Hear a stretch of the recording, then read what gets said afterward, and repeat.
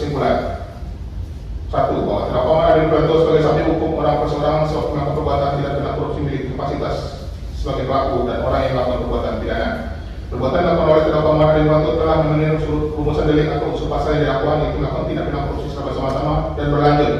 Sebenarnya diatur dan diancam pada pasal 12 huruf A untuk pasal 18 Undang-Undang RI Nomor 21 Tahun 99 tentang pemberantasan tindak pidana korupsi sebenarnya telah diubah dengan Undang-Undang Nomor 20 Tahun 2021 tentang perubahan Undang-Undang RI Nomor 31 Tahun 99 tentang perubahan atas Undang-Undang RI Nomor 31 Tahun 99 tentang pemberantasan tindak korupsi junto pasal 55 ayat 1 ke 1 KUHP junto pasal 64 ayat 1 KUHP sebenarnya dalam dakwaan alternatif ke 1 perbuatan terdakwa maka yang itu yang dilakukan secara sadar terdapat kesengajaan dan segala akibat ditimbulkan dari perbuatan tersebut diketahui dan dikehendakinya.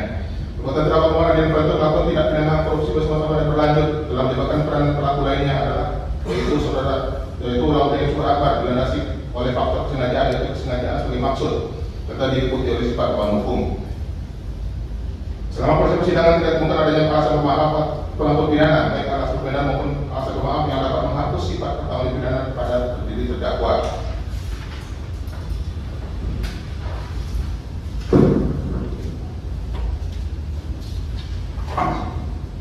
Tuntutan pidana. Masyarakat imam kami muliakan, terdakwa, tim penasihat hukum, dan pengunjung sidang yang kami hormati. Sebelum kami menuntut umum mengajukan untuk pidana peradilan terdakwa Muhammad Adil Novianto, terlebih dahulu kami perlu kiranya ditemukan hal-hal yang dipertimbangkan dalam mengajukan untuk pidana ini yaitu keadaan yang meringankan sebagai berikut. Keadaan memberatkan, terdakwa tidak mendukung program pemerintah dalam mewujudkan pemerintahan yang bersih dari korupsi, korupsi dan nepotisme. Terdakwa berusaha percaya masyarakat dalam lembaga negara atau lembaga pemerintah dalam tingkat nasional yang meringankan terdakwa menjadi tanggungan keluarga, terdakwa berlaku sopan dan menghargai persidangan. Berdasarkan uraian yang tersebut di atas dengan memperhatikan ketentuan peraturan perundang-undangan yang terkait untuk umum dalam perkara ini menuntut supaya masyarakat pengadilan pidana korupsi pada pengadilan negeri Jakarta Pusat yang memeriksa dan mengenai perkara ini memutuskan. Satu menyatakan terdakwa Muhammad Ardian Novianto. Telah terbukti serasa meyakinkan menurut hukum bersalah melakukan tindak pidana korupsi secara bersama-sama dan berlanjut. Sebagaimana diatur dan diancam pidana dalam pasal 12 huruf A untuk pasal 18 Undang-Undang RI Nomor 31 Tahun 99 tentang pemberantasan tindak pidana korupsi. Sebenarnya telah diubah dengan Undang-Undang RI Nomor 20 Tahun 2021 tentang perubahan atas Undang-Undang RI Nomor 31 Tahun 99 tentang pemberantasan tindak pidana korupsi. Junto pasal 55 ayat 1 ke 1 KUHP 2 menuntut terhadap terdakwa Muhammad Adi Nurfatul berupa penjara selama 5 tahun dan 4 bulan dan pidana denda sebesar 250 juta subsidi pidana kurungan pengganti selama 6 bulan dengan perintah supaya terdakwa tetap ditahan.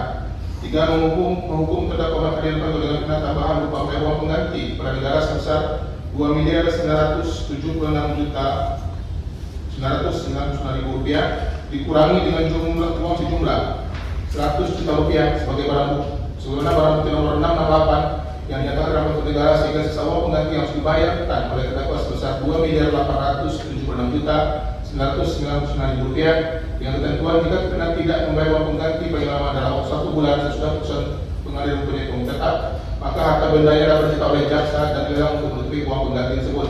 Dan jika terpidana tidak mempunyai harta benda yang cukup untuk membayar uang pengganti maka dipidana dengan pidana penjara selama 2 tahun. Nyatakan barang bukti nomor 1 satu lembar nota asli PT Ayu Sagung nomor voucher sekian.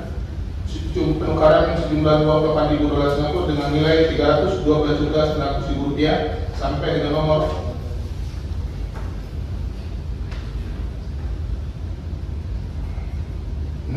tujuh. Berupa satu buah HP Samsung Galaxy S1 pemilik Irfan alias Opang digunakan dalam atas nama Laudem Ekspor BB nomor 668 uang sejumlah 100 juta rupiah yang ditransfer ke rekening